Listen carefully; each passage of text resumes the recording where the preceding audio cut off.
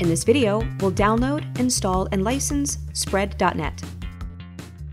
Go to the download page, enter your email, next click Install.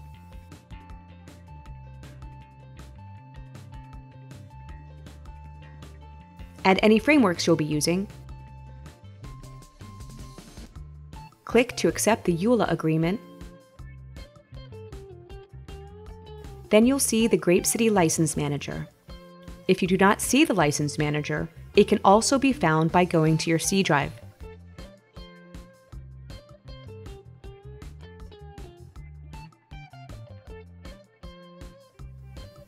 Then, click on the GrapeCity License Manager executable.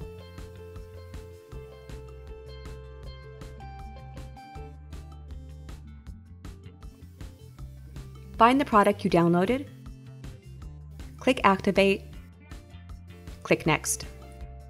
Then, fill out the required information and enter your product key.